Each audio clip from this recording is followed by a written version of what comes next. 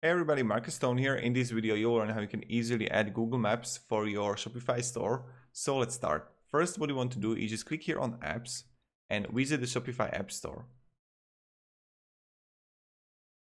Now search apps, right here, Google Maps. And I really like this one, Maps by Devalik. Click on it and add application.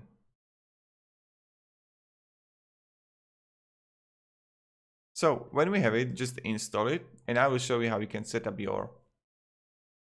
Okay, add map to page. Do, do, do, Add map to page. Okay, which one you want. I really like the contact us because I already created it. So add to modify the app. Okay, team default white manual drag drop, add new, new address, next, come and see us here, save. So right now we got it here.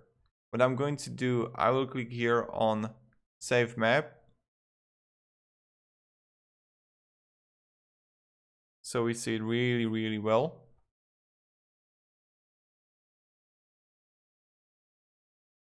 You can even customize it like really good if you want, but this is like like the basic how to do it. And also like this is a seven day trial. So ah, okay, we got it. So right now we have it. Default white, okay.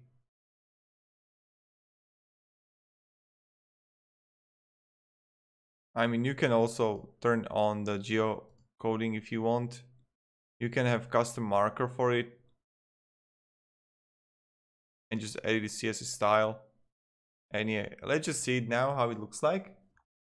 And I'm going to sc scroll down on contact us.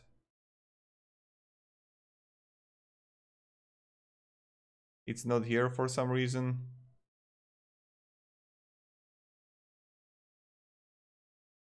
So let's just see it, why I can't see it. We need to figure it out. Cells, okay, has a map.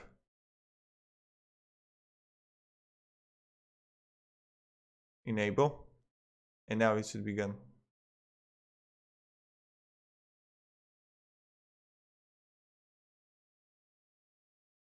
To make maps working, please add the following to liquid times of the pages with maps.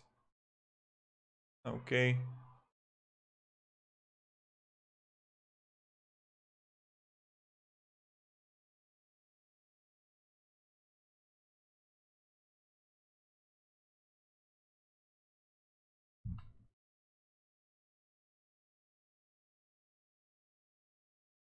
Save.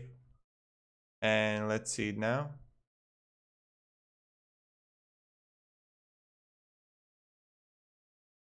Oh, here we go.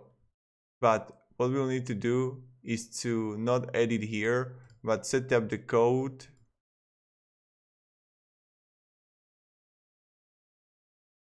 for contact us page because right now we had it in head bar.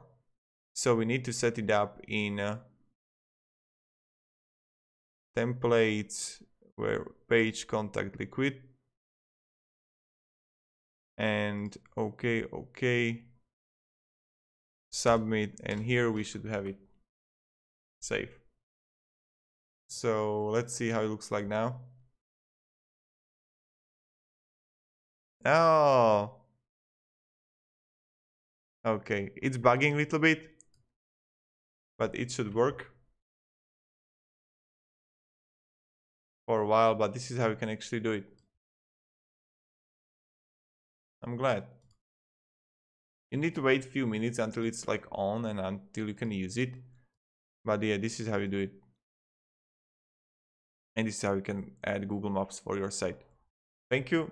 If you have any questions, if you have any problems, write me down, guys. If you see any error, please write me and I will try to provide you support on what you should do. So yeah, thank you. Have a great day and see ya. Goodbye.